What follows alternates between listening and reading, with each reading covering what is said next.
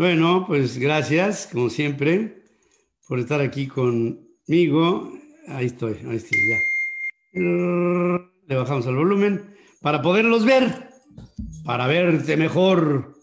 Les hablo como siempre con mucho, mucho cariño. Le, le, le puse, bueno, ahí dice colon, pero en realidad quise decir colón. Lo que pasa es que ahí no me lo acentuaron. Ya parezco a la señora Gutiérrez Müller, que es Müller, eh, de, de, ¿cómo se llama? De López Obrador. Bueno, el hecho es que, fíjense que yo lo titulé así, Colón y el cáncer, porque hay varias noticias que siempre me, me, me sacan canas verdes y me llaman la atención, pero hay dos que sí quise particularizar para esta tarde. Una es el retiro de la estatua de Colón. Fíjense esta postura reduccionista que tiene el presidente, que todo lo lleva al terreno del simplismo. El simplismo es una corriente de pensamiento que cualquier cosa, lo que sea, del tamaño que sea, acaba no importando. Y el presidente es un eh, simplista, reduccionista.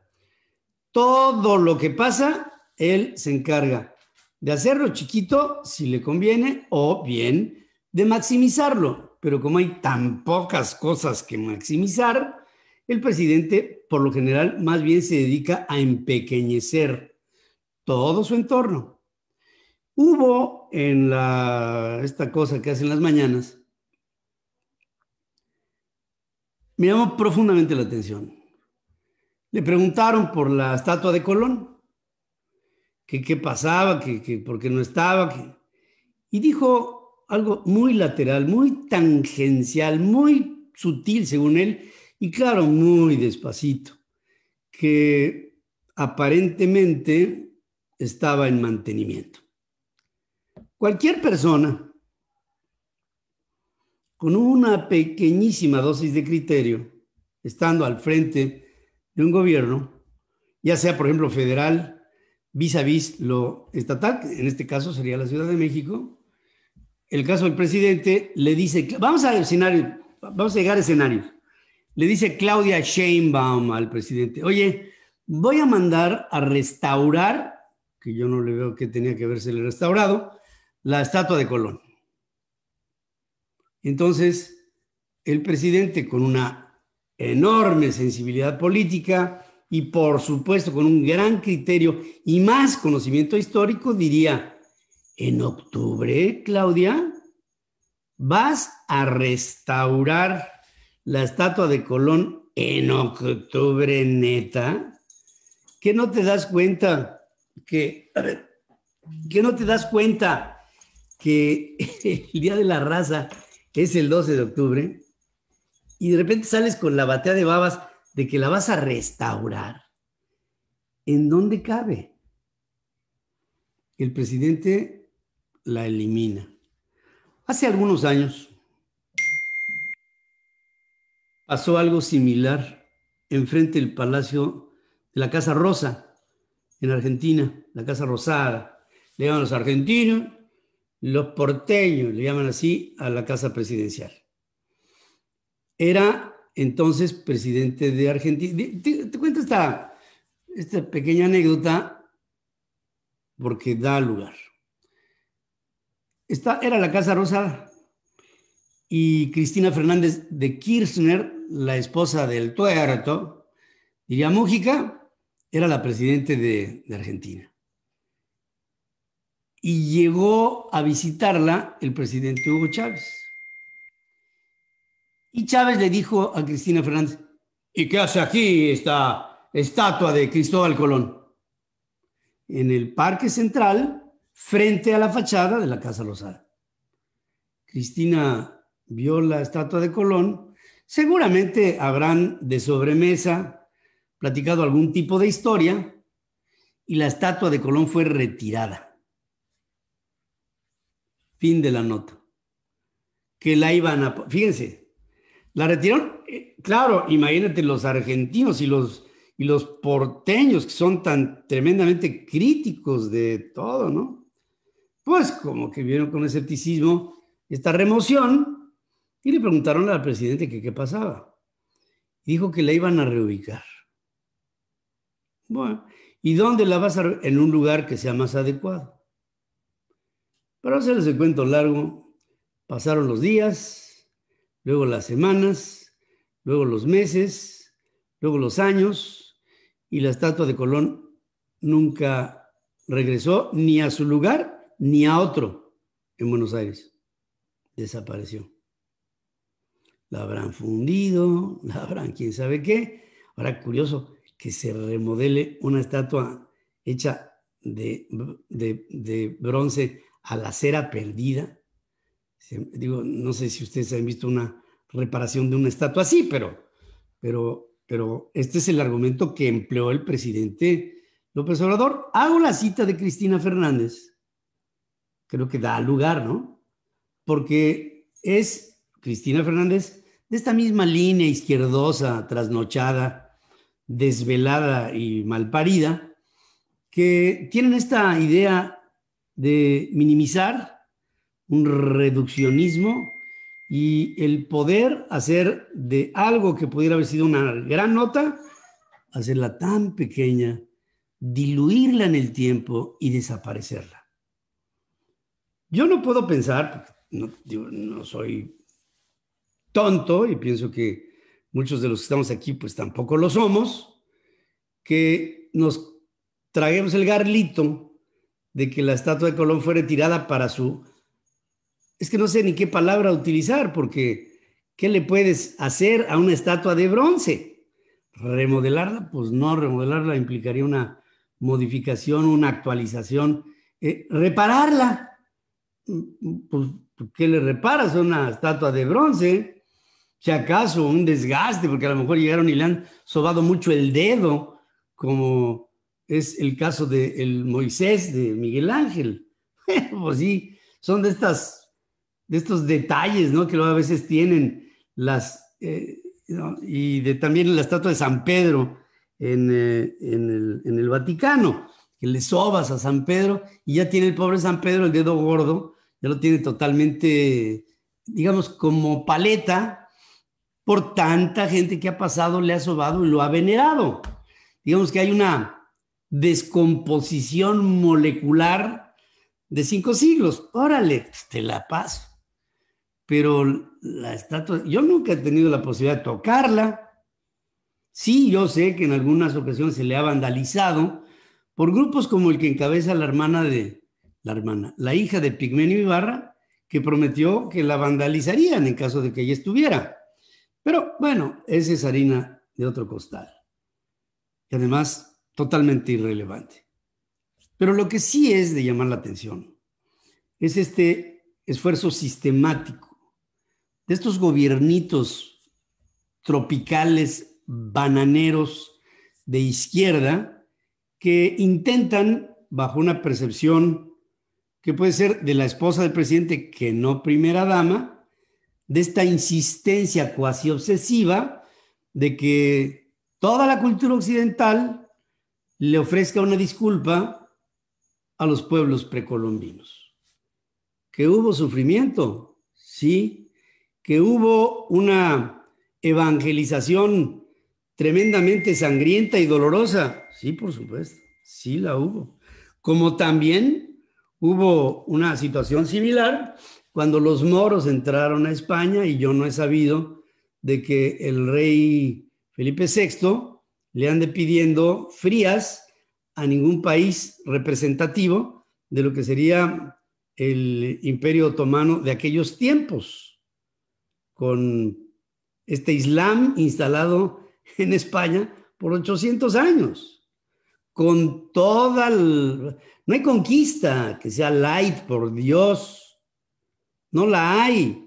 Como tampoco, digo, para el caso que los aztecas le ofrezcan una disculpa a los tlaxcaltecas y los otomíes, de alguna suerte, sean reivindicados por los chichimecas o los matlalcincas o los otziles que, que, que, que tengan, por favor, alguna forma de expiación en contra de los zapotecos y estos a su vez con Monte Albán.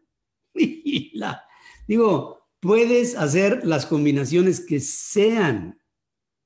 La historia de los pueblos, sus invasiones, las atrocidades imbuidas en la misma memoria genética de la historia del hombre, está hecha de barbarie. Las cruzadas, eh, las invasiones de los romanos en sus periodos de esplendor y de decadencia, eh, los españoles en su siglo de oro y su brillo con Carlos I de, España, V de Alemania, pues es que Portugal y sus atrocidades, eh, el Reino Unido y las suyas en África y en Oceanía y pues es que. El hecho de quitar una figura como la de Cristóbal Colón de la Ciudad de México, partiendo de la base que al presidente, que cada vez le salen peor sus mentiras y sus engaños, Ahora nos sale con la batea de babas de que, ah, sí, se está reparando. Que por cierto, ya sé que ese estilito de quedarse así atorado es de Fidel Castro. Me cayó el 20 porque lo vi hablar muchas veces. Y es Fidel Castro. Bueno, pero en fin, esa es otra cosa. Esto lo que me lleva a pensar es que viene dentro de la propia eh, agenda cubierta de los países del Foro de Sao Paulo, una sustitución de íconos históricos. Tal vez el día de mañana, en donde estaba, porque no está, el monumento a Colón, se pondrá una efigie de Marx o de Engels o, de Vladimir Ilich, Lenin o de, o de Che Guevara, con esto de la juventud que adora al Che Guevara, si no es por la Che Guevara, que sea por el Che Guevara, decía Pancho Libori. El hecho es que me da la idea que se está llevando a cabo una reconsideración de la historia para contarle a las siguientes generaciones, hoy tan poco educadas en muchos de sus sectores y tan rústicas en su entendimiento del todo, pues es fácil tomar mentes frescas y darles una deformadita. Mira que en lugar de Cristóbal Colón, pues a lo mejor habría que poner a, no sé, a lo mejor a un, a un héroe azteca, que está bien, a lo mejor a, a un héroe tlaxcalteca, pues, está bien, pero esta sustitución de valor de un hombre que integró a dos mundos, por la vía de un proyecto y de la planeación de lo que para él era otra cosa. Cristóbal Colón no tuvo la intención de llegar a las Américas, no sabía que existían las Américas. Él tenía la intención de encontrar una nueva ruta de las especias. ¿Por qué de las especias? ¿Por qué era tan importante el clavo, y la pimienta y la sal, las especias. ¿Por qué? Ah, pues es muy fácil, ¿no? En zonas de profundos calores, como gran parte de España, en aquellos tiempos y antes de Cristóbal Colón, los calores echaban a perder la comida cuando se trataba de proteínas de animales que ya habían sido sacrificados. Si no se consumían en el momento, se echaban a perder.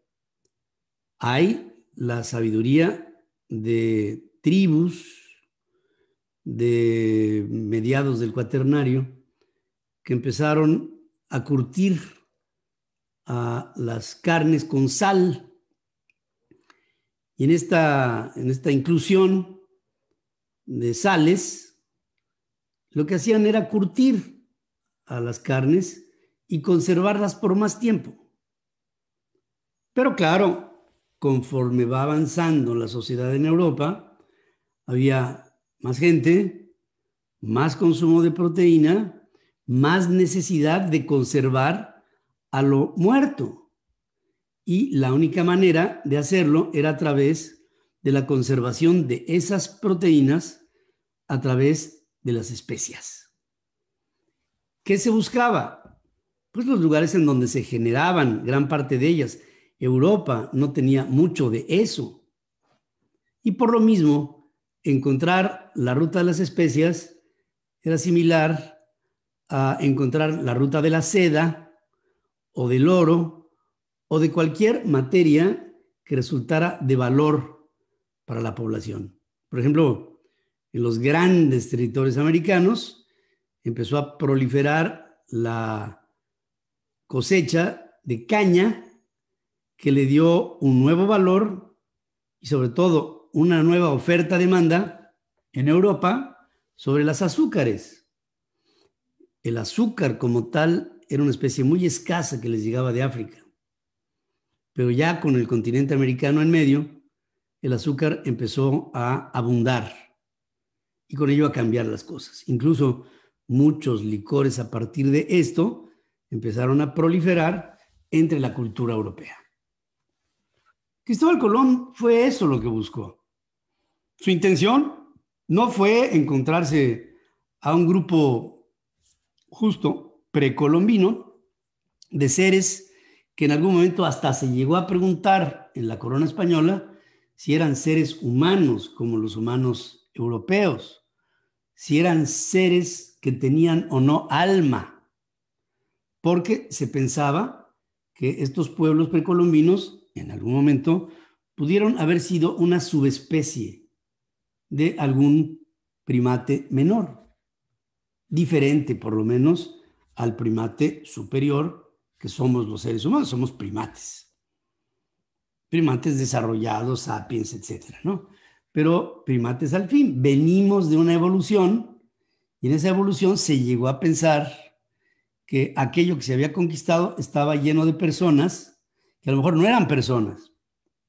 Y por eso el maltrato, y por eso la ignorancia, y por eso la violencia, y por eso la ambición, y todo lo que se dio en la conquista, que se dio, pero son hechos consumados, son hechos históricos, de los que no podemos vivir bajo la premisa 528 años después que hay que pedir disculpas a los pueblos aborígenes, porque los pueblos aborígenes también tendrían que pedir disculpas más bien ofrecerlas a otro tipo de grupos étnicos que seguramente habrán sido sojuzgados, subyugados por los hegemónicos. O sea que de eso, de eso ni hablar. Yo, yo, yo pienso que no.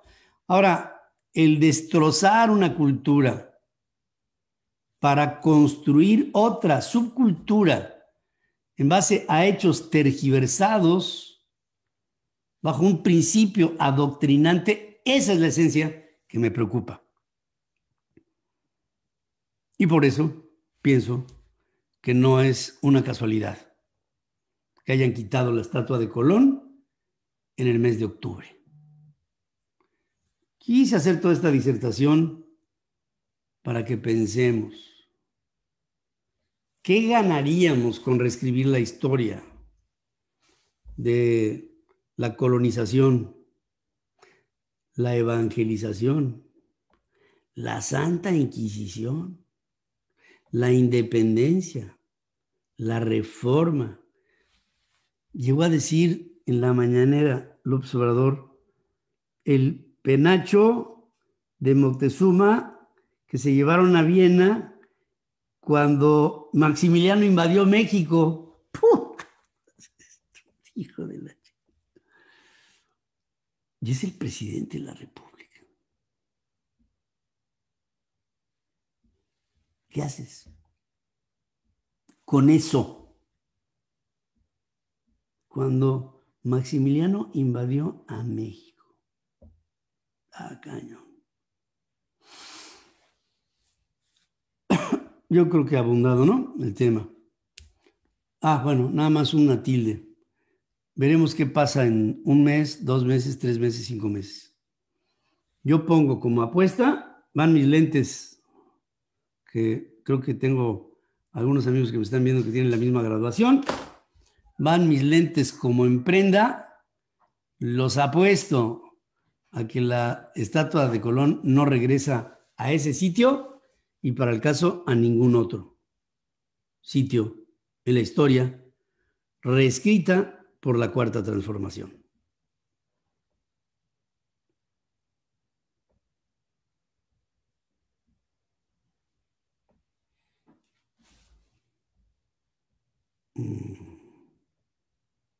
Bueno, ahorita hablamos si quieren de estas, de estas este, supuestas piezas prehispánicas que se encuentran ahí por, por, los entornos del tren Maya. Bueno, el tren Maya que no es tren Maya, bueno, que no está ni siquiera en ciernes. Bueno, otro asunto es el tema del robo presunto de medicamentos oncológicos. No es cierto. Es cierto. No hubo tal compra. No es cierto. Es un manejo y es una manipulación. No es cierto. Ahora resulta que primero llega el presidente para todas las compras de todos los medicamentos habidos y por haber en el Seguro Social. Después, consolida un órgano que se lo iba a dar, este órgano de consolidación de compras de las medicinas, se lo iba a dar al señor que le da las bolsas con dinero a Pío López Obrador, a un señor que se llama David León y que cuando salió el escándalo, pues le quitaron a David León esa posición que ya la tenía ganada y ponen otro güey, como todos los güeyes que han puesto. Y resulta que hacen una compra consolidada que acaban de anunciar por 100 mil millones de pesos para las medicinas del año que viene. En ningún momento se compraron productos oncológicos para esta última, este último tramo de lo que queda este tercer trimestre y al cuarto de este 2020. Pero ahora salen con la idea de que lo que ya habían comprado, pues al estar robado, pues podemos tener comprender que pues no se puede distribuir si se lo robaron. Nosotros no somos unos desalmados, dice el presidente. Por supuesto que sabemos y sentimos lo que puede pensar una familia que nosotros procuramos, fíjense el término, procuramos que no falten esas medicinas para los niños que tienen esos problemas. No aseguramos, ¿eh? Procuramos, dijo el presidente. Me, fijé muy bien en la mañanera. Y ahora salen con la batea de babas que se los robaron. Está como el que llegó a, Querétaro a la cantina, dice, ¿dónde está mi caballo, hijos de la Y entonces pues, todo el mundo se quedó porque llegó hasta pistola al cinto y todo. Si no aparece mi caballo, va a pasar lo que pasó en Guadalajara, hijos de todo eso. Mendiga madre. No, pues todo el mundo, ya el otro bragao y y envalentonado y engallado, ¿no? Y dice, les doy una última oportunidad, hijos de su malparida progenitora. Si no aparece el caballo, mi caballo, va a pasar lo mismo que pasó en Guadalajara. Bien presente tengo yo. Ah, hasta que alguien con una enorme timidez dijo, ¿y qué pasó en Guadalajara? dice, se lo chingaron. Igualito. Se robaron las medicinas de productos oncológicos que ya nos las iban a mandar y desaparecieron. Y entonces esto nos da tiempo para que no se den por engañados los padres que vayan a los centros de salud en el país a nivel público y que pidan y es una parte espantosa, la atención para sus hijos de un producto oncológico que no se puede dar, pues se lo robaron. Así. Ahora, vamos a pensar que se lo robaron. ¿Ustedes creen que un embarque de esta naturaleza no va, es pregunta, ¿eh? ¿Asegurado? Para que hubiera dicho el presidente, se lo robaron, pero el lote que compramos tenía un seguro para que llegara hasta los puntos de distribución directa al público. Y como lo teníamos asegurado, entonces vamos a recomprarlo en automático con el dinero que nos dará la aseguradora. Un lote de, ¿qué te gusta? Me voy a ir vara, de 30, vara, vara, vara, vara, vara, de 30 millones de pesos. ¿Tú crees que un lote así se mueve así nomás porque, pásame las oncológicas, güey? Y yo me la... No, hombre, esas cosas se garantizan. Esos traslados son traslados que van con un resguardo. Es la vida de nuestros hijos en este reduccionismo que tiene el presidente, de un problema grandote a un problema chiquito, se lo robaron, hombre. Pero nosotros seguimos preocupados porque, por supuesto, que no tenemos la menor intención de no darle esos productos oncológicos a niños con cáncer, pues nada más faltaba. Esa es la cuarta transformación. ¿Hasta qué punto? ¿Hasta qué punto? Miguel Navarro, que es el presidente de la Comisión de Salud en el Senado, suspendió la comparecencia hoy que iba a tener el Senado con Hugo López Gatel, subsecretario de Salud, y la intervención de José Alonso Novelo Baeza, titular de la rapiña que se llama COFEPRIS. Fíjate, al no haber garantías de respeto y civilidad, luego de los reclamos de la oposición, López Gatel dijo a legisladores de oposición que no se mantengan en el reducto de la minoría y sean parte de la solución. Hijo de tu... Le reclamó que se sustraigan de la realidad al observar curules vacías durante la comparecencia. Les invitamos nuevamente, con todo respeto, como le dice su jefe, a que se integren, que esta disonancia cognoscitiva no les haga mantenerse en el reducto de la minoría les invitamos a ser parte de la solución. Lamento que sustraigan una y otra vez de la realidad. No veo curules vacías, veo curules vacías nuevamente.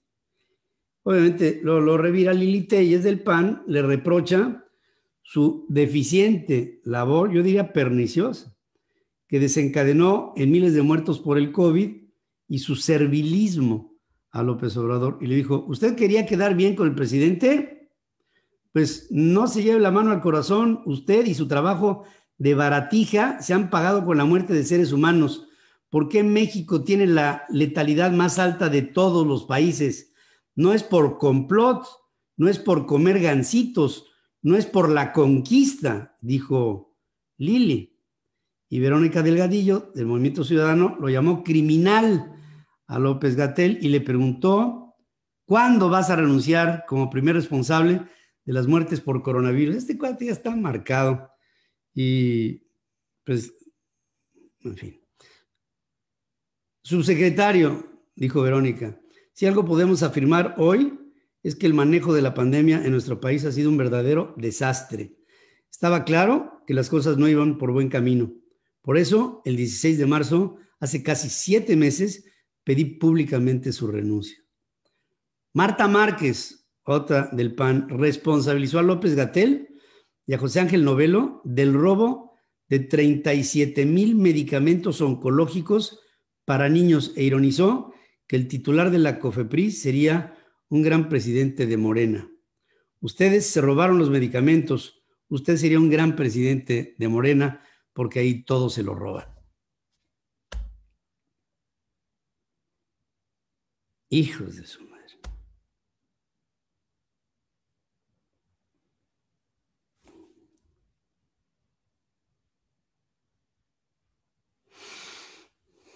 Bueno, ese era mi segundo punto.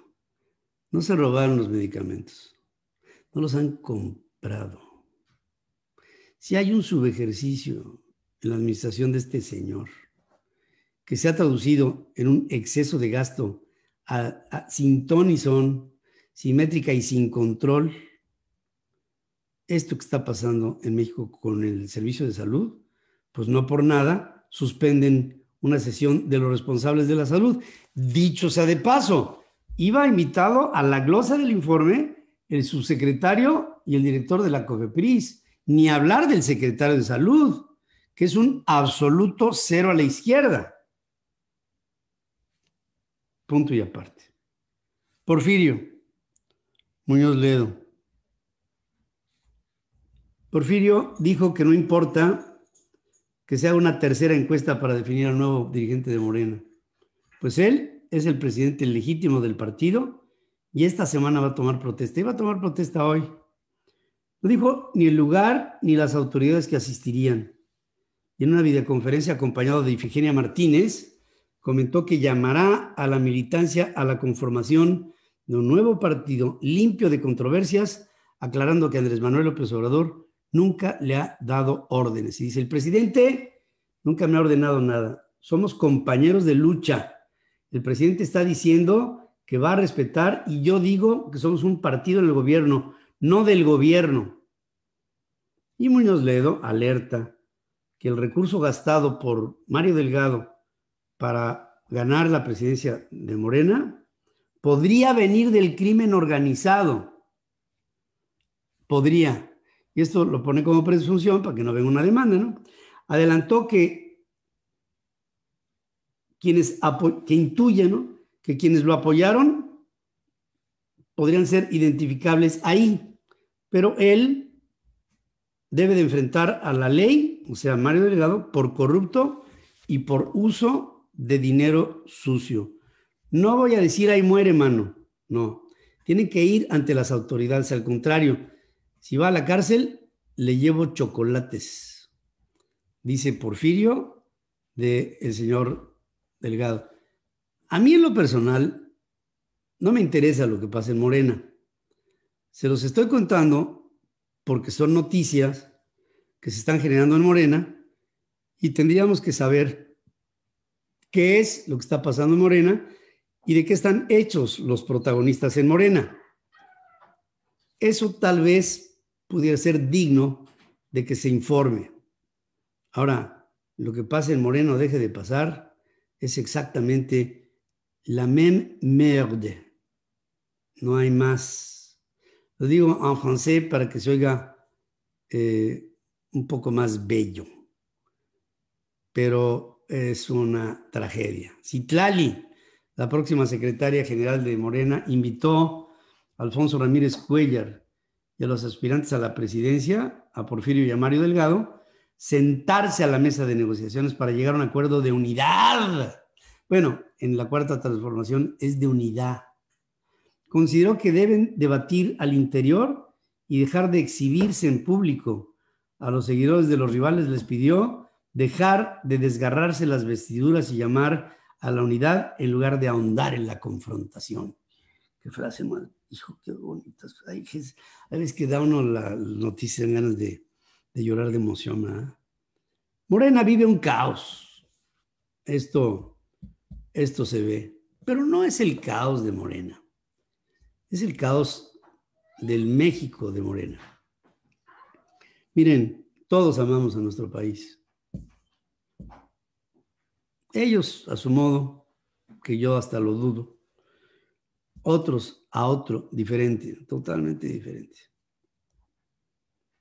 Morena gobierna 20 estados de la República. Bueno, en 19 estados no ha habido renovación del Comité Ejecutivo Estatal porque no ha habido una renovación del Comité Ejecutivo Nacional. Hay un desgobierno en Morena en más de la mitad de los estados de la República hay un desgobierno en Morena, en la Morena Central. Morena sirvió como la carrocería que llegó al poder a López Obrador, lo llevó. en esa carrocería. Pero ya estando ahí en la presidencia, Morena fue descuidada. Si nos ponemos estrictamente a pensar, el presidente de Morena es el presidente de la República que pidió disculpas, bueno, permiso para retirarse de Morena, ser aspirante y después presidente. Pero entró una interino que fue Jericho Lepolensky. Y después entró un interino del interino que es Alfonso Ramírez Cuellar. Y ahora hay un margallate porque hay un manoteo por ver quién se queda institucionalmente con Morena, en lo que en Morena se están haciendo pedazos.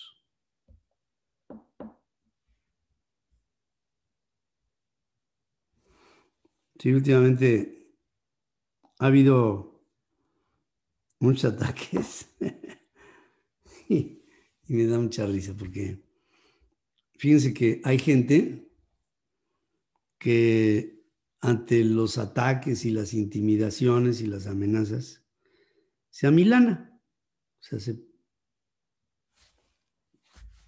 petit. Y hay gente que con los ataques y con las amenazas se crece. Entonces, para mí, el hecho de recibir tanto ataque me invita a crecerme. A más ataques, más medicina. Es como, como vitamina. Me crezco. Y me crezco porque al saber que les molesto, que es una estrategia de un centro, y yo sé de dónde, al saber que les molesto, sé que estoy haciendo bien mi chamba. Y si nos ha tocado orquestar gran parte de lo que hoy le estorba a la cuarta transformación y la exhibe, nada nos costará trabajo el seguir en este camino y a mayor resistencia mayor fortaleza para un servidor. Dicho de otra manera, quiero agradecer a todas las personas por sus adjetivos, por sus descalificaciones, por su ignorancia magnánima y por su falta de empatía. Pero también todo esto me nutre. Gracias por nutrirme.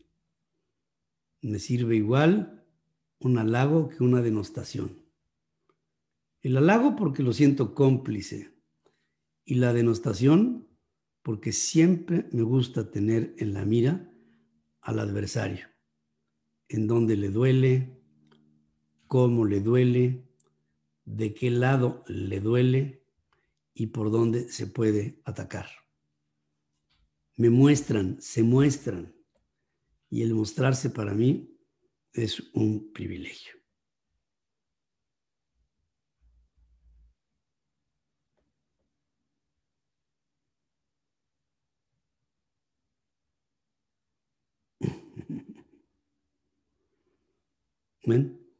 Bueno, eh, mm, el peso perdió cuatro centavos, la bolsa se fue para abajo, punto 4. Hay un reporte de Banco Mundial que habla que la parte más, más, más, más, más sensiblemente deprimida económicamente hablando en el mundo no va a ser África, sino que será América Latina. Y ponen como premisa, como ejemplo, a dos países, que son de suyo economías emergentes. En África hay un país economía emergente, que es Sudáfrica, la de Mandela. En América hay dos países emergentes. Uno es Brasil, el otro es México. Hay otros como la India, como China. Pero, digamos, economías emergentes en el continente americano, Brasil y México. Los dos países más deprimidos por la pandemia vamos a ser esos dos. Uno por exceso de presupuesto, lo que está gastando de más, y otro porque se está gastando de menos. Hablaron otra vez en la Organización Mundial de la Salud en la Organización Panamericana de la Salud, hay cada vez una esperanza de que podrá haber la vacuna, etc. Y mientras que esto sucede, pues en el ámbito político en los Estados Unidos se siguen moviendo las campañas. Donald Trump dio ya negativo en COVID durante varios días consecutivos a través de una prueba rápida, según informa Sean Conley, el médico de cabecera del presidente. En una carta agregó que esta información y los lineamientos de los Centros para el Control y Prevención de Enfermedades concluyeron que el presidente ya no está, ya no es un agente infeccioso para los demás. Mientras Boris Johnson, primer ministro del Reino Unido, impuso un sistema escalonado de nuevas restricciones en distintas zonas de Inglaterra, entre las que se incluye el cierre a partir del miércoles de pubs y de centros de ocio, de, pues de relajo, ¿no? Para contener la propagación del coronavirus, pese a la creciente indignación ciudadana ante la limitación de las libertades. Pues es básicamente lo que les quería yo decir.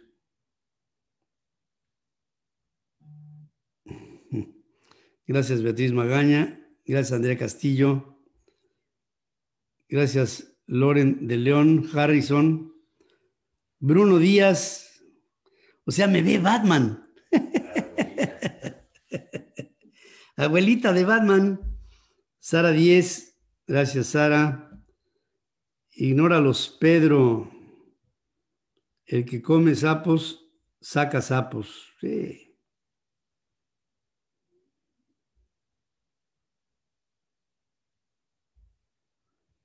Dan pena tú y frena. Siempre has hecho bien tu chamba. Lo hacías,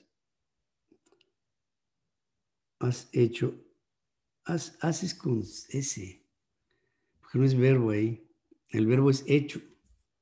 Eso te lo digo así como para, para que te ayudes. Mm.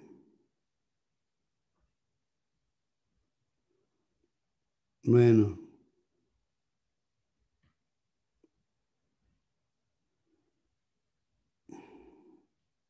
Ah, dije lo de, no, no dije, nada más rápido, les digo, este, se ha difundido muy profusamente en las redes sociales una serie de piezas arqueológicas que supuestamente son hallazgos realizados en torno a la presunta construcción del tren Maya.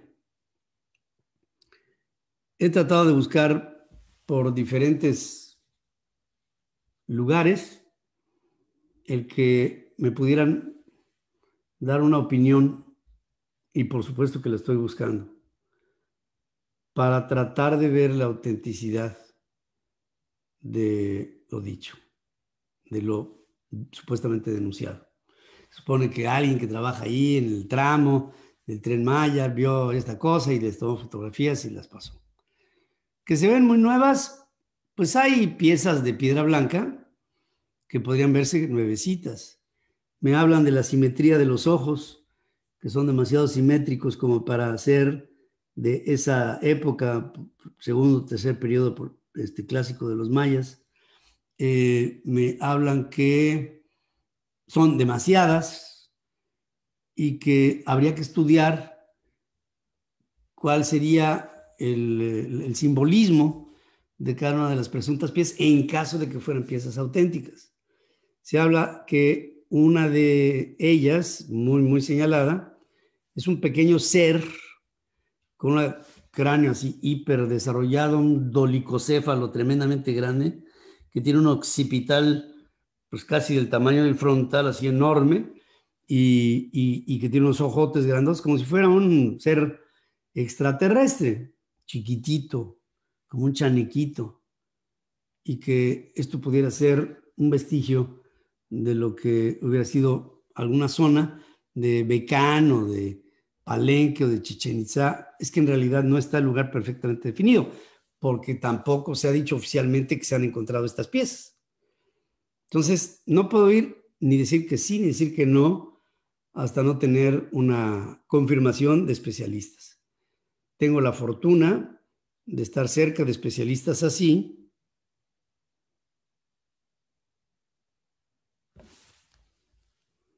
Pedro, ve este link, porfa. Encontraron figuras extraterrestres. Construcción de tren Maya. Mira, Eduardo Carriola, lo, lo veo, pero yo no, o sea, esta, esto que me está diciendo es de Radio Fórmula. Pues es responsabilidad de Radio Fórmula decirlo así. Yo tengo la responsabilidad central y nada me gustaría más. Imagínate que tuviéramos una pieza arqueológica que estuviera representando a un ser extraterrestre. Sería, puta, y más para mí. Échale mezcla, ¿no? Pero no quiero, este, no quiero decir lo que no, lo que no es correcto. Hasta, no, chupaca, no, o sea, Carlos, no, no mames. O sea, estamos hablando en serio. Este, hay, hay que verlo bien, ¿no? Hay que verlo.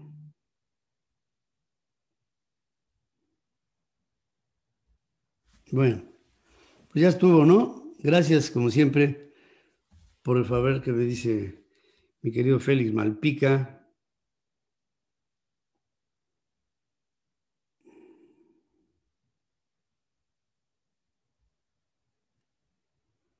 Vamos a poner un ejemplo más para que vean la importancia de los descubridores. ¿Por qué toda América se llama así? América, en honor a quién? ¿Quién fue Américo Vespuccio? Claro, pues, nadie sabe por qué se llama América, América, ¿no? Bueno, hay gente que sí, por supuesto. Pero en realidad, si la historia hubiera sido justa con Colón en su último viaje, que ya llegó madreado, semiciego, enfermo, traicionado, vejado, perseguido, ya en calidad de harapo, pues el continente se debería de haber llamado Colombia o Columbia, pero Colombia estrictamente. Solo se, se ciñó a un país, Colombia, por Colón. Es como Filipinas, ¿no? Por Felipe II. O sea, hay lugares, Luisiana, por los Luises de Francia. En fin, ¿no es así?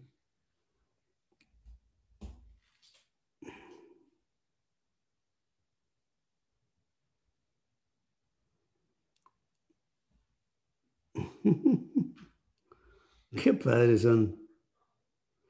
Un mundo nos vigila a Pedro Félix Santa Cruz. Uy, si mi viejo viviera en esta época.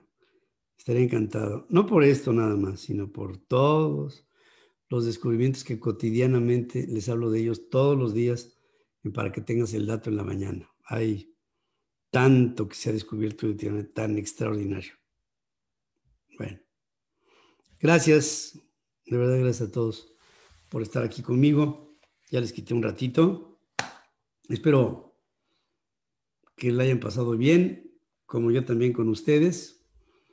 Cualquier eh, queja, por favor, al 00 bongo 000 y ahí les van a dar una explicación clarísima de por qué soy así.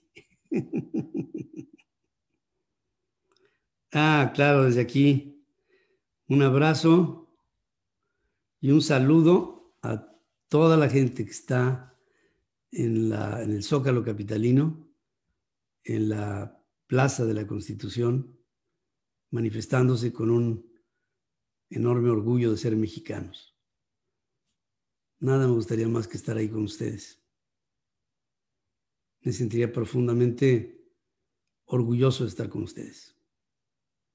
Situaciones muy particulares hoy me lo están impidiendo y luego la vida es sabia.